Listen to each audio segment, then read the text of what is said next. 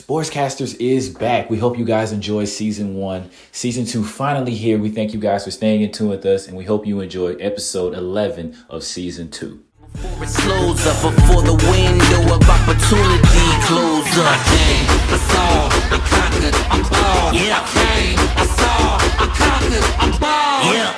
Yo, get so I got all. Yeah. And turn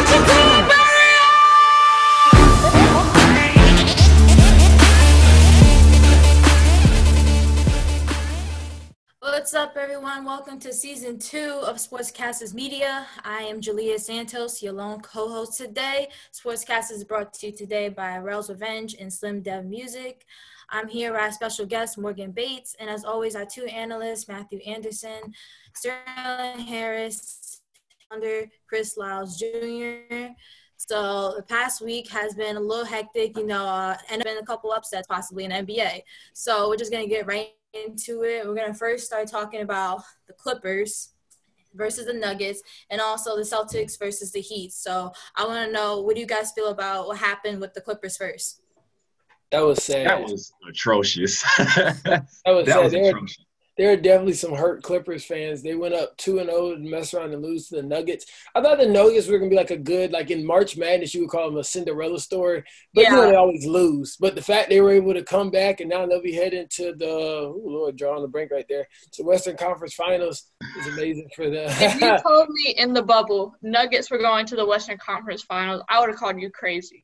Yeah. Nah, for real. Cause like I did not expect them to go that far at all. I, I did expect them to make it like halfway and then get maybe Yeah. booted out by like the Jazz, but Jamal Murray on one. I don't know what that man on, but it ain't nothing from this If planet. he can so play like that to the conference finals, I mean, he might give Lakers a run for his money. If- oh, it's gonna be Lakers in five. So I mean, I mean, granted, I mean, like, they gonna obviously, but one. I mean, if he can pull out some, just some wild stuff, that would be good to see. I just, I'm not, I hate the Lakers. I'm sorry. Ooh. Like- Ooh, like, Ooh. why we got some hate? I'm sorry. I just don't like the Lakers. I think it's the LeBron fans that make me hate the Lakers. We gonna get into That's that one. See, also I, so she just hate LeBron. She said No, hate the I whole swear I don't hate LeBron. It's those fans. It, oh my gosh, I can't. I can't do it.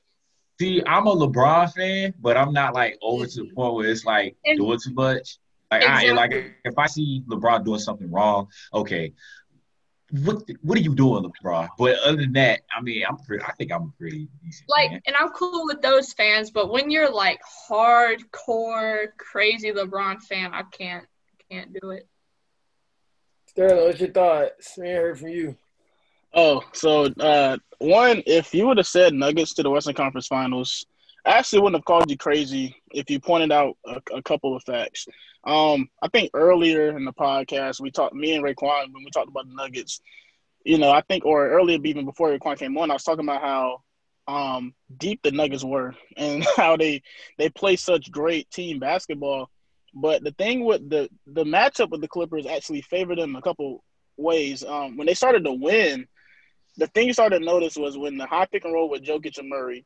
When Jokic got the ball within the paint, there's nobody on the Clippers team, I think, past maybe outside of Zubac that was maybe seven foot, maybe. I agree. So Jokic was seeing every single passing angle possible. If he didn't, and if nobody was open, he had that little floater that he could just hit consistently throughout the game, which is really what got Denver's offense going.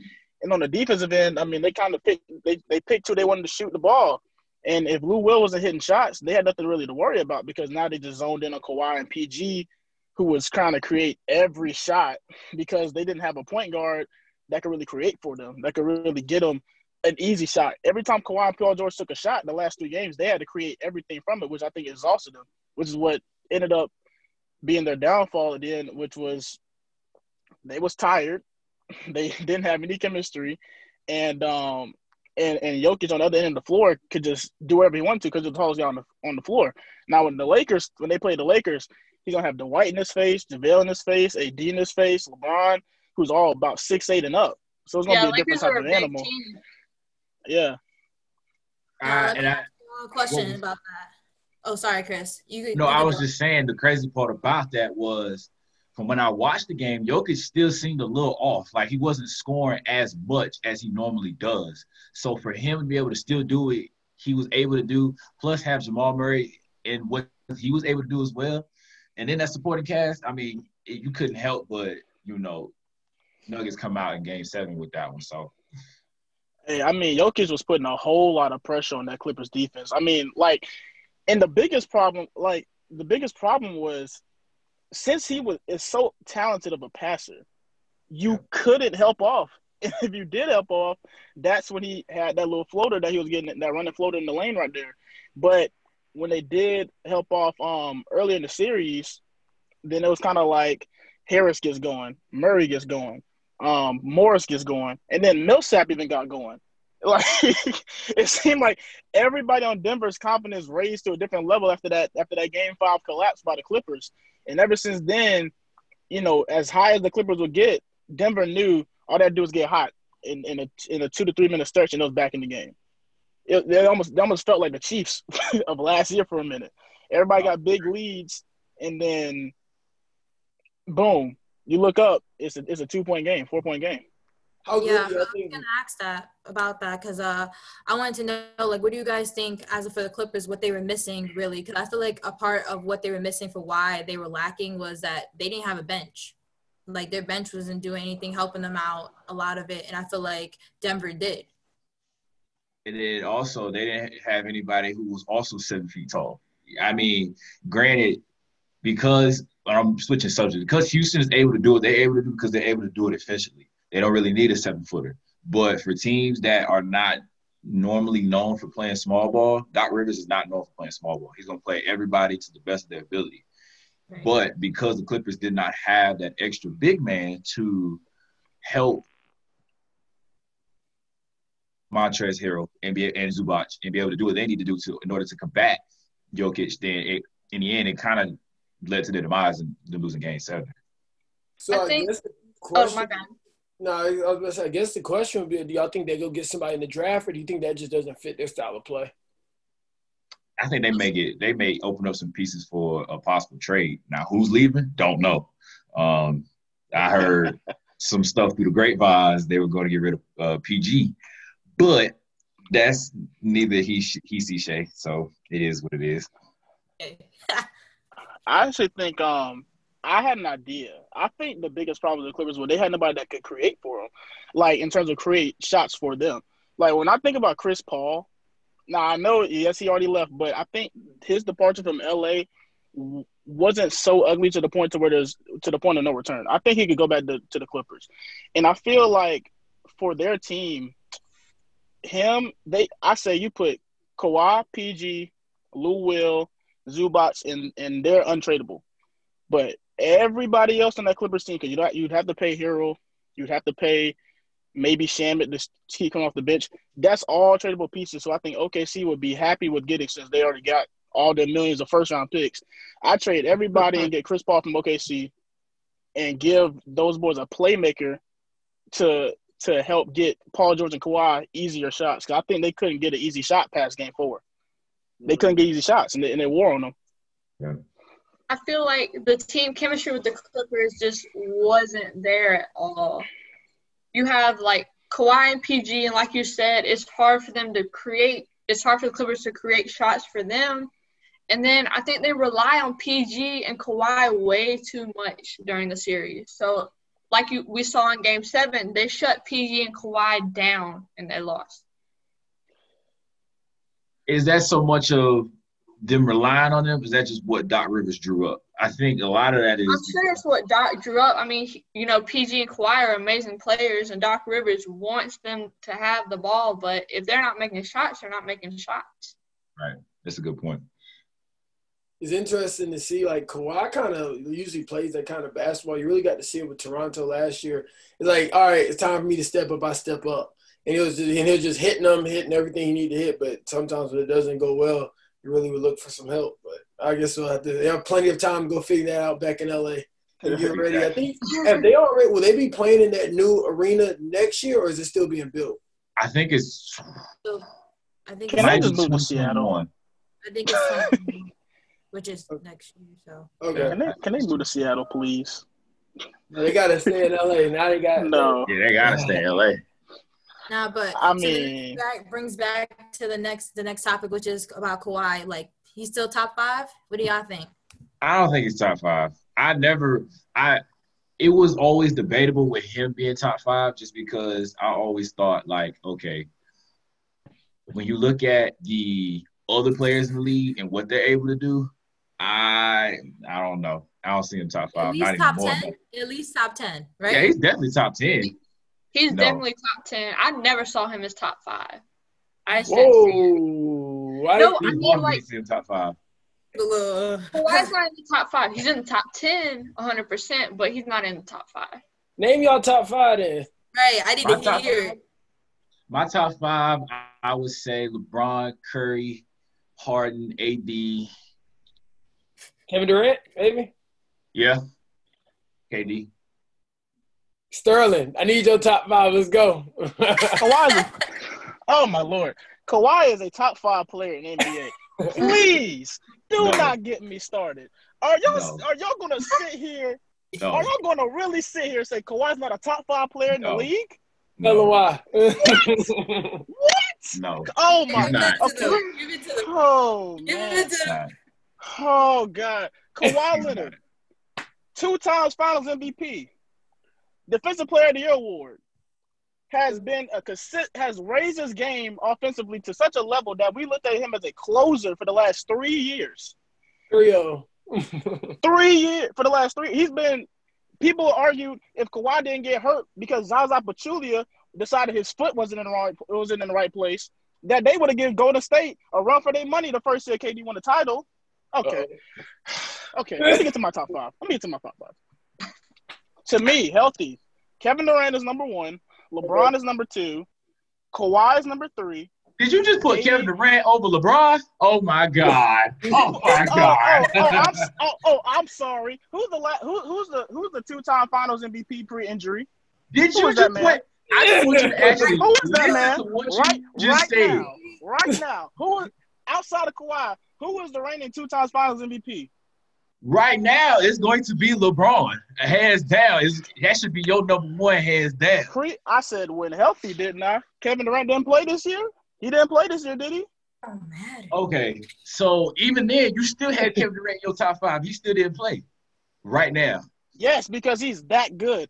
The only person that can stop Kevin Durant from from scoring is Kevin Durant when he doesn't shoot the I knew he was basketball. That's it. It. He's the knew he was only man say that it. comes from scoring. Okay, oh and number four is AD, and five is Steph Curry. That's my top five. But Kawhi is most definitely a top five player in the league. Oh, don't get I that mistaken. I don't know which one this is was a more of a bad hot loss. take. This was The a fact bad that loss. you just put But Kawhi is top five. I know that much. Kawhi. I Okay. know that much. this is the part that I didn't like when people when Kawhi went through what he went through in Game Seven. What I didn't like, and the reason why I dropped him down for my personal vendetta was because let LeBron had did any of that. When I tell you news, Stephen A. Shannon, well, I don't know about Shannon, but people in general would be blowing LeBron's everything. They'll be Uh, blowing LeBron up, but Did because Stephen A. Shannon not blow up Kawhi last night? Yesterday? that's one person. I'm talking about people, people that normally root for Kawhi, people that normally like Skip, Max, uh, what's the other guy? Oh God, I do not like him. He has his own. It's not Scott Benfield. Uh, who is he? He's a uh, his last name I is, mean, is it Cal? Is that his last name? Who? Colin? Colin? Thank Colin you. I couldn't Cowherd? think of his name. We, Thank we I couldn't listening to think of his name. Colin? Colin Yes. Cowherd. That's my guy. Yeah. Thank you. I could not stand him when he started talking about LeBron and Kawhi, and I didn't hear nothing from him when he, Kawhi had his little stint. So I'm like, that's the part that I'm like, I don't put him in the top five no more because at the end of the day, if LeBron would have did what he did, people would try to take him out of their top five. They would try to make every other excuse like, oh, you know, LeBron did, did this, he didn't score in the fourth quarter, he didn't give it to this player, he didn't do what he needed to do. Okay, I only heard one person. Oh, it's Shannon. Sorry. So I only Well, heard two what? people who said something. Well, That's why what? he's not in my top five. Them guys ain't me. All right, I'm fair. But I'm gonna let you know right now. Kawhi Leonard, I'm not about to take Kawhi out of my top five because of one horrible series. That the reason why I'm upset with Kawhi from what happened is because he's such a great player. You're supposed to figure that out because you are a top five player. But I'm not going to say you can. Who's who's five players better than Kawhi? You want to name them? Was I just said? Yes. I said LeBron. I Okay. said Curry. Okay. I said Giannis, and then I said AD, Okay, and then I said stop Kevin Durant.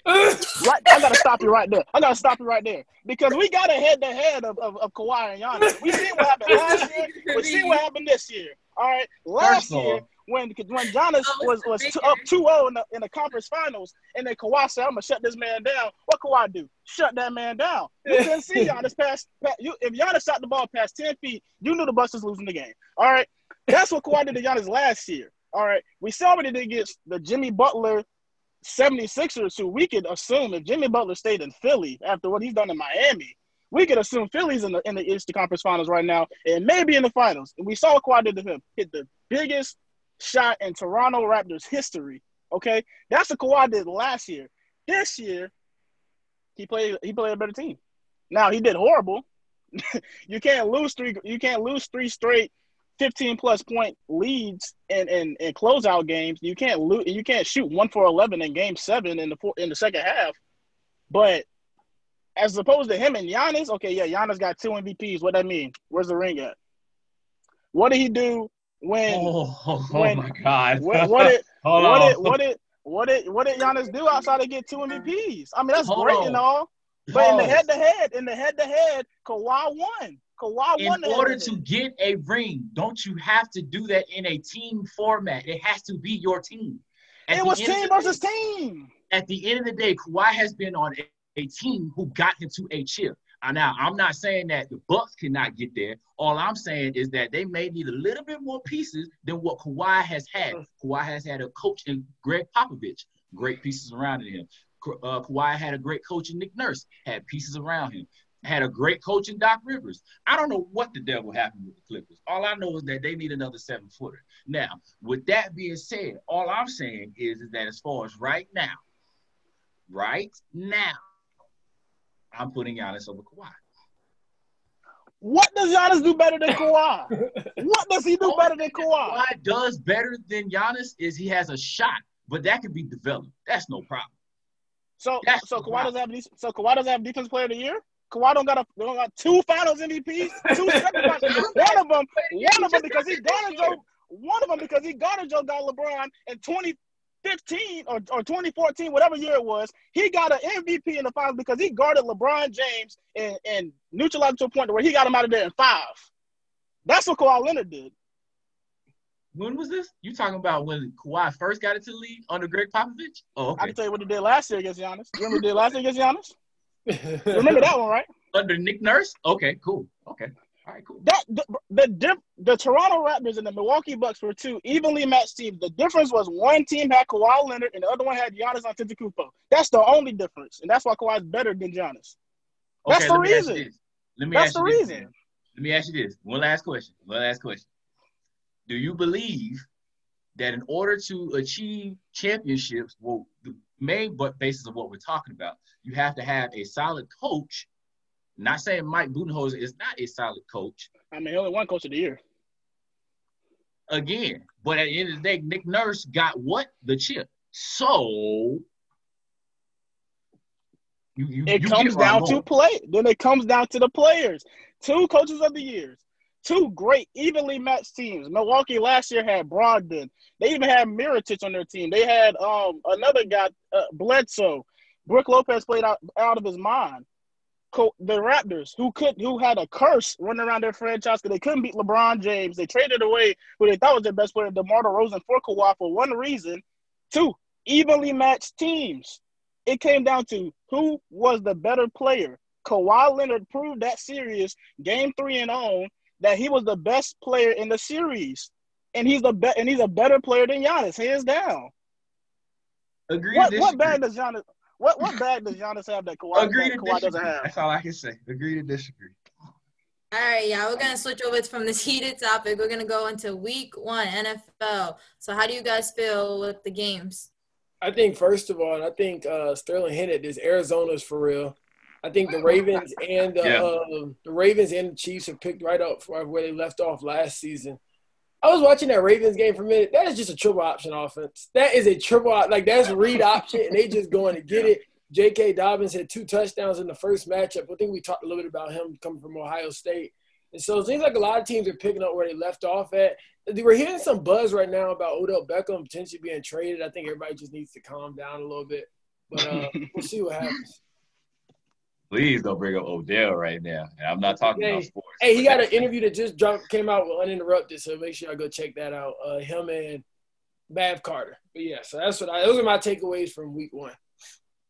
I think from a not even from an on the field perspective, I feel like this was really big for the NFL just to be able to come back and have the parameters that they had set in place in order for them to come back. I think one of the things that I'm surprised that I haven't heard yet, I haven't heard anything about COVID at all. I haven't heard if a player got it or you know this that you know how many cases.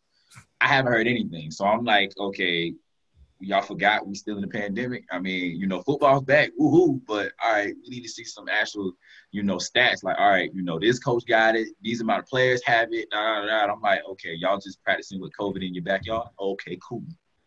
I think they haven't had any cases so far because usually if they had any cases, they'll pop up, and I think they test daily, if not like twice per week. So I think the NFL's been doing a pretty good job about it. Uh, I, I saw some reports like last week before the season started, but I think they're doing pretty good right now. Sterling, you have anything to say? Uh, well, my Super Bowl pick looked glorious in Seattle. Um, uh, Jamal, I mean, my lord, Jamal Adams just did whatever he wanted to do against the Falcons. But I mean, that's the, the Falcons. Um, Saints Bucks was uh very interesting. Uh, I figured that the Bucks would not be prepared to play the Saints that day because they have not played together long enough to play the Saints that day. Um, the Saints look, you know, regular. We got to watch Michael Thomas on. He had the ankle injury, but um, Saints did what they had to do. Got turnovers, got a pick six. Tom Brady didn't look the best, but that's gonna come with time. Um, the New England Patriots looked very intriguing with Cam Newton at quarterback. Yes. Um, that defense is still is still something to reckon with because Belichick is the coach. I mean, it's just as long as Belichick is coaching the Patriots, they're going to be in every single game. And I picked over the weekend Seattle to win that game, but I would not be surprised if New England won just based on how they play. I mean, they, I mean, who's going to get open for Seattle? I don't know. Um, Joe Burrow looked good in his debut. Um, you know, he got him down to he got him down the field to, with a chance to win the game. You know, kicker missed it. It's okay, but he he looked pretty solid. Uh, They play tonight, by the way, right? They yeah, Cincinnati, uh, and Cincinnati, uh, and the Browns. Yeah, Who's y'all Cincinnati pick? Cleveland. Who's y'all pick? Boy, for Baker's sake, the Browns better win. I'm telling you. I'm telling you. I'm telling you. Joe Burrow, Joe Burrow better not get his first win against these Cleveland Browns with the Jarvis Landrys and everybody else. Yeah, yeah. I'm going with uh, Cleveland as well. What about you, Chris? I got the Brown. I mean, I got the Bengals winning. I, What? I really, yeah, I really feel like Joe Burrow can really do it, man.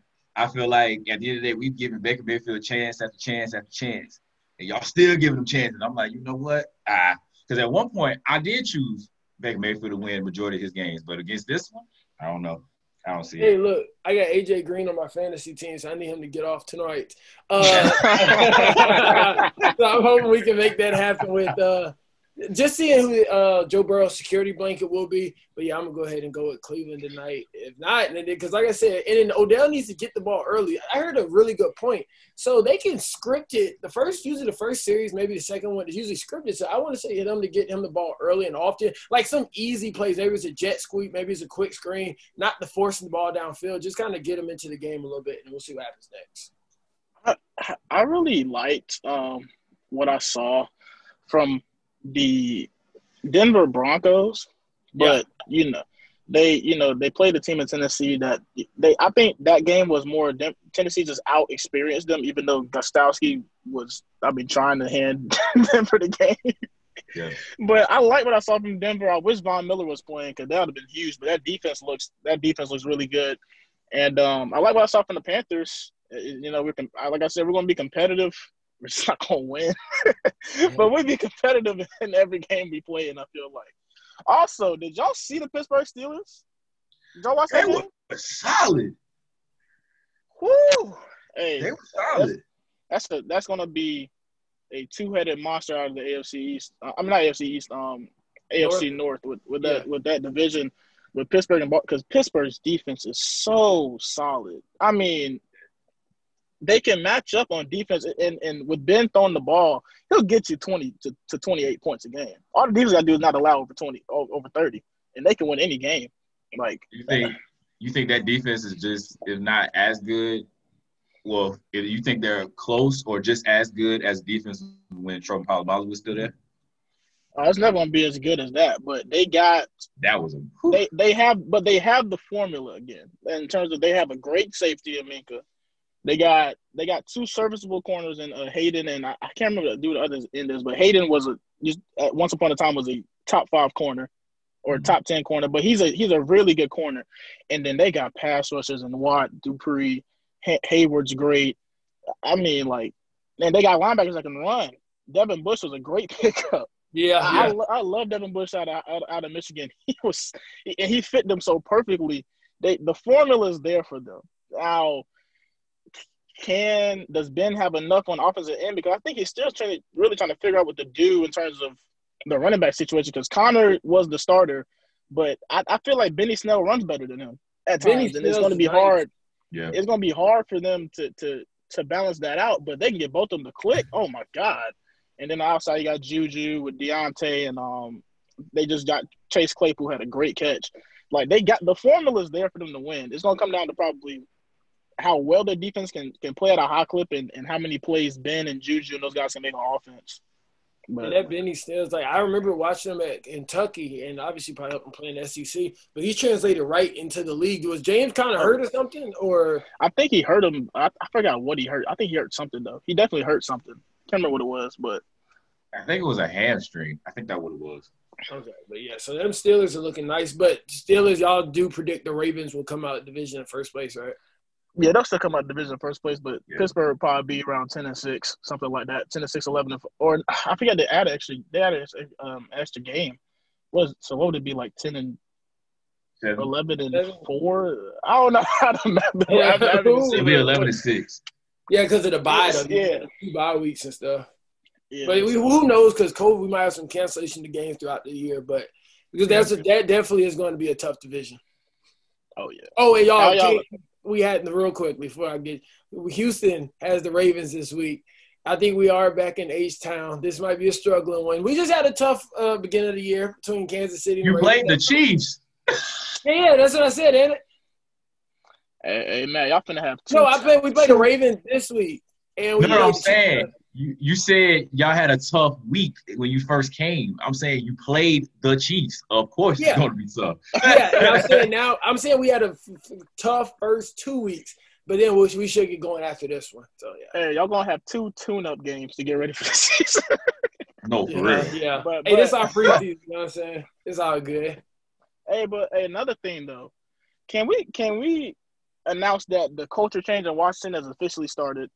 Yeah. The Washington football team with a 17 point comeback versus the Eagles. Can we announce the culture change has officially begun? The revolution is here. I All think- right, well, Dallas. I think- No, go ahead. What you saying? I'm I mean Dallas. I mean, my lord, I don't know. What, I don't know what to say about Dallas at this point. They, there's no reason why they should lose to the Los Angeles Rams. There's not a single reason why Dallas should lose that game. They're disappointing. Uh, Philly. I don't know how they lost the game, but but all the credit to Washington. That dog Um, gonna Chase Young, man. That that that that that D line for Washington is going to is going to cause a lot of people problems. And don't forget, Landon Yeah. Collins is in the back. Landon Collins is still there. He was still, he was a great player about three four years. He's still there. They they got some they got some talent around that team. And Rivera, I think, is going to start the going to change the culture. Already starting off strong, 17 down, coming back, winning 20, uh, 27 unanswered. I mean, I mean, I, I like to see it. I love Ron Rivera, so I like to see it. Side side little question. Um, before we end, um, what what's his status on his cancer? Does anybody know? Like, is is he starting to get treatment or? I think he, Yeah, he to started get like treatment. halftime or something, right? Uh, there was Yeah, he got something- an IV. He had a planned IV at halftime, and Haskins Yeah. and Haskins uh, basically brought the team together. Yeah, that's So, what I mean. mean- Ha- Haskins is a pretty good. He used to do it a couple times Ohio State as far as like being the quarterback. A lot of times you want to be able to bring the team back from adversity. And because uh, that's a big part of quarterback is momentum, so he's able to do that. So I think he's the right quarterback for the job. They people wanted them to go get two, but I was like, just hang tight on Dwayne, and Dwayne was gonna make it happen. He's done it again. Uh-oh. At least I mean, week one. We'll see what happens throughout the year. I, I think it's a great sign when you can come back 17, you know, 17 down versus the, the team that's won your division. I think the last two years, and Yeah, and but but along with that, I mean, Washington has has some talent. Like they're not. I feel like Washington's problem, you know, for years has really just been who where leadership was. So if Dan Snyder's finally, he's not probably going to sell the team, but if he's hands off of stuff, and you bring in a guy like Ron Rivera, who we've seen be great with managing personalities. Like he managed, you know, Steve Smith was still there. He manages Cam's personality perfectly.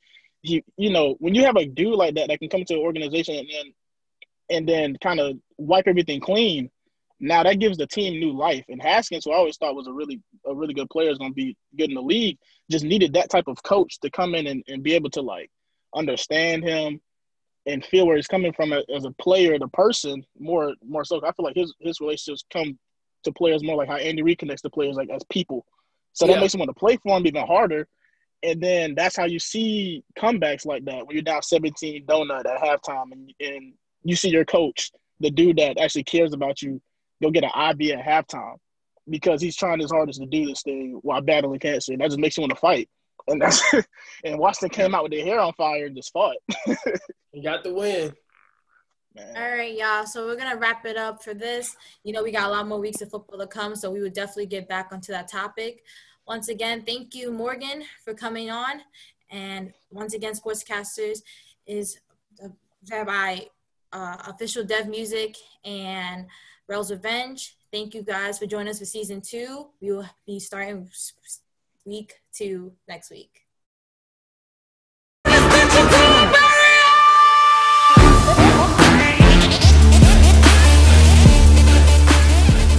This podcast is brought to you by Official Slim Dev Music and Rells Revenge. Stay tuned next week for more on Sportscasters Media. See you soon.